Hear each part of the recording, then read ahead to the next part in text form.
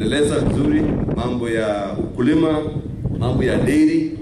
Dairy area hii ni mzuri, inashikana na hewa ya area hii, na tunashukuru gavana kwa sababu amefanya bidii, ametuletea factory ya maziwa, na ninaona ya kwamba tukienda barabara hiyo ya kuuza ng'ombe zetu na kuhakikisha kwamba tuko na grade, ng'ombe ya grade mzuri, tutapata maziwa ya kutosha ili tuuze na tupate mali ile tutatumia kwa kwa mambo yetu mbalimbali.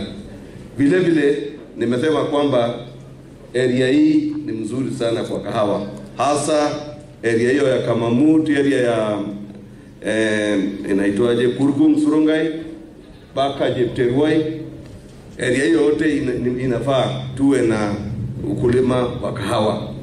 Area ya Mgwin, Nandi Hills na pande pale kidogo kidogo ya Tinderet tupande majani chai na vile vile kahawa, ili watu wakipata pesa kutoka ng'ambo, hata na sisi tutakuwa ndani.